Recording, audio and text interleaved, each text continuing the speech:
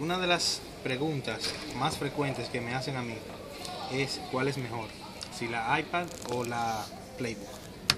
Cada una tiene sus características y bueno, su punto fuerte y su punto bajos. Por ejemplo, la iPad tiene la particularidad de que tiene más aplicaciones, de que la pantalla es más grande, por ende, las aplicaciones se ven mejor. Es, por ejemplo, la aplicación de fotos se ve gigante. También tiene más aplicaciones en el sentido de que aplicaciones de calidad, me refiero. Tiene, déjame ver dónde que está. Tiene Photoshop, ¿verdad? Tiene la aplicación de iPhoto, que está hecha por Apple. Tiene muchas aplicaciones así, eh, lo que me refiero. Aparte de que existen aplicaciones como Skype, Netflix y la de Amazon, Love Film, existen para la iPad. Ahora bien,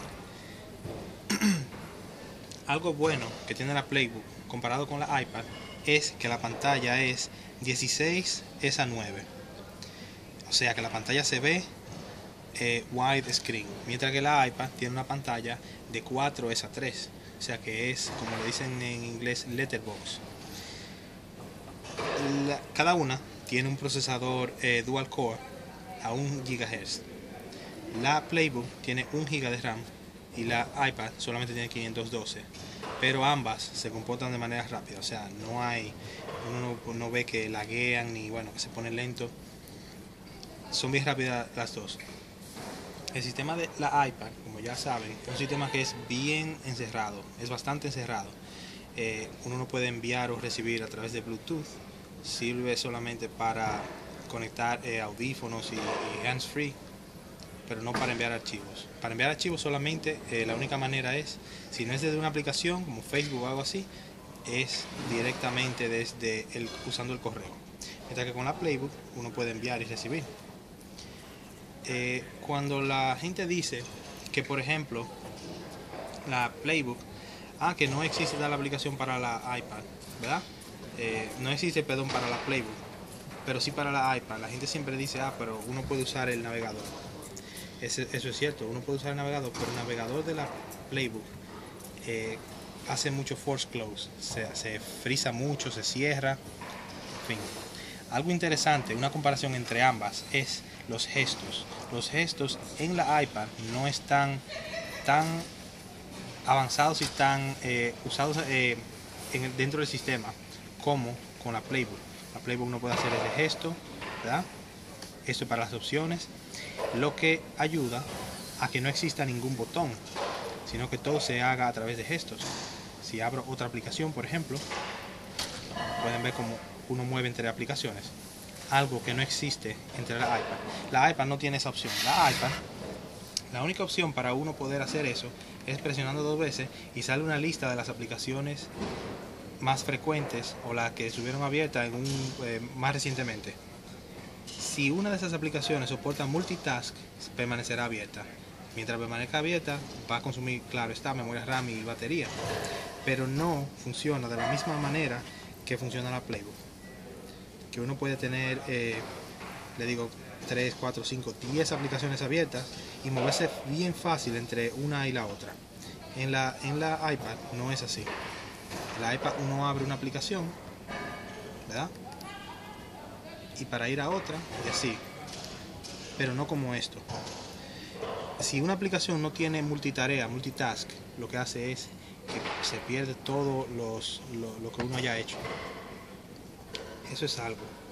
La cámara, la cámara frontal de la Playbook es de 3 megapíxeles comparado con la cámara VGA de la iPad que es bueno solamente 640 x 480 una resolución bien bien pequeña la cámara de atrás de la iPad es el equivalente a un megapíxel, mientras que las de la Playbook es de 5 megapíxeles. Tiene más calidad. Yo personalmente me gustan eh, cosas de ambas. Si lo que desea es portabilidad, algo que sea bien pequeño, que tenga eh, buenas aplicaciones, una aplicación para leer PDF, una aplicación para leer libros, que ver videos de YouTube, que entrar a Facebook, lo que sea, la Playbook es mejor. Es más pequeña, muchísimo más ligera que la, la iPad, casi la mitad del peso, y la pantalla se ve mejor. También, si quiere una tablet para ver películas o escuchar música, la Playbook es mejor, porque uno solamente le conecta USB y eh, conecta el USB en la, computadora, transfiere la música o las películas y las puede ver eh, bueno, directamente en la aplicación. Ahí tengo unos videos musicales, como pueden ver. Mientras que la iPad, sea un sistema encerrado, se maneja a través de iTunes y no reproduce todos los formatos. La Playbook reproduce eh, MOV, MP4, eh, AVI, cuál es el otro, DVX. La iPad solamente reproduce MP4 y lo de los videos que son de QuickTime, propietario de la Apple. Ahora bien, si busca una tablet que independientemente del tamaño y del peso tenga muchas aplicaciones, tenga aplicaciones como Kindle, Netflix, Skype, que sea esencial para, para usted, yo recomendaría más entonces la iPad, ya que esas aplicaciones existen. También si busca una aplicación, una, perdón, una tablet que sirva para leer solamente, yo preferiría la, la iPad.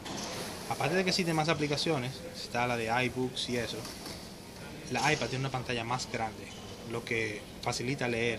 Es mejor leer, pueden leer mucho más fácil y con más calidad. Yo voy a hacer una comparativa bien rápida leyendo un libro en la iPad y leyendo un libro en la Playbook. Voy a abrir un libro bien rápido.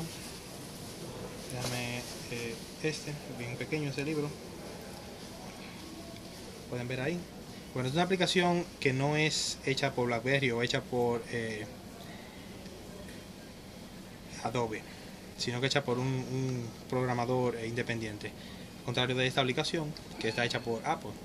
Como pueden ver ahí, leyendo un libro así. Déjame desconectar esto aquí. Pueden verlo aquí también. ¿Cómo se lee? Perfecto. Mientras que en la Playbook, la aplicación, no tiene esas opciones. Déjame ver, espérate. Ah, bueno, solamente una sola página. Voy a utilizar otro ejemplo, otro libro, un libro de eso de programación que yo utilizo. Pueden eh, achicarlo, pero no tiene las mismas funciones, me refiero. No pasa una hoja, no, no, no tiene esos efectos. ¿verdad? Pueden verlo así también, como si fuera a modo de una sola página. Lo agrandan un poco y lo pueden leer más fácil. Pero no facilita, no de la misma manera de leer, o sea, no es lo mismo. Pueden ver el tamaño de la pantalla, que no es igual. Bueno, eso es hasta ahora todo lo que más o menos podría yo decirle de ambas. Si tienen cualquier tipo de pregunta la pueden hacer en los comentarios.